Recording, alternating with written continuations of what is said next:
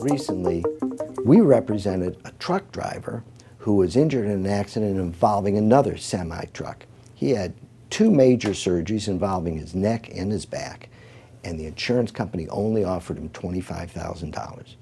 He came to our office, and we determined that number one, the accident was not his fault, that we were able to show that it was the other truck driver's fault because we had the experts to determine what happened in the case after the fact.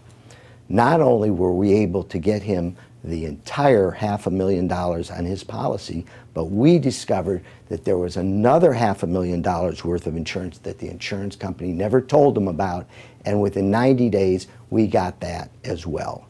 This gentleman got over a million dollars, which he deserved, only because of the hard work that we put into the case.